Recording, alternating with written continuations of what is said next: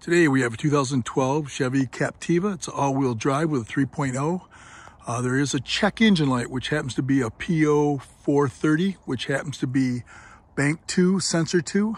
We are going to show you where the oxygen sensor is located and how to replace it. This is your Chevy GM 3.0 uh, V6.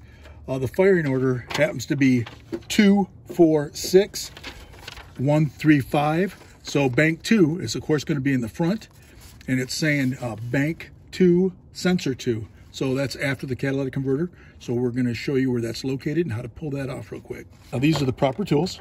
You could use a 22 uh, millimeter open wrench if that's all you got but these are the uh, oxygen tools sockets. And I'm, I'm pretty positive it's this one right here. And like I said this is bank 2 right here so it's going to be the first oxygen sensor after the catalytic converter and this is the proper one. You don't want to get the one before the catalytic converter. You want to get the one that's after. Front of the car here, you come right up in here. This is the front of the motor.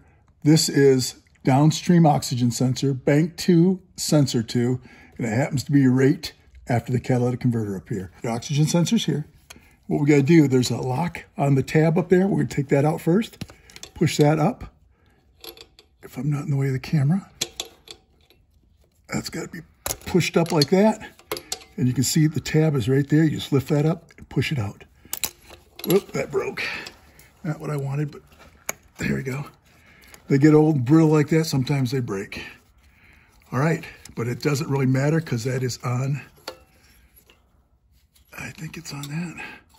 Yeah, it was on this, so we're good. All right, now we're gonna get the proper tool to pull it out. What you're gonna do is the tool we showed you earlier, you're gonna take that, slide it across there, and a lot of times on these right here, if it doesn't want to break loose, just take some heat to this. You could use a 22 uh, millimeter open wrench on that, but if you got the proper tools, you might as well use them. Put that on like that. Put this on.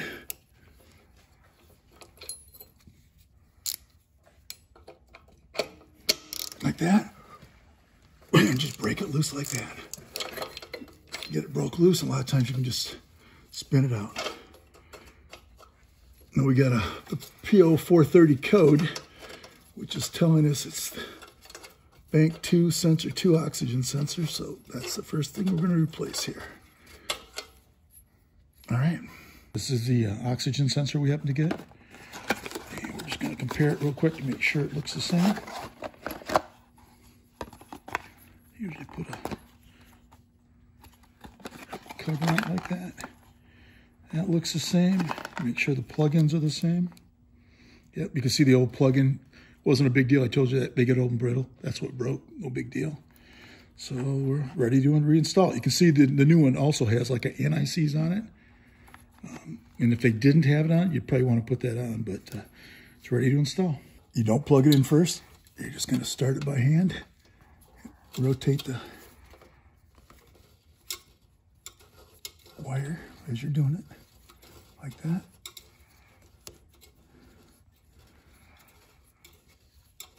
Okay, it's in there.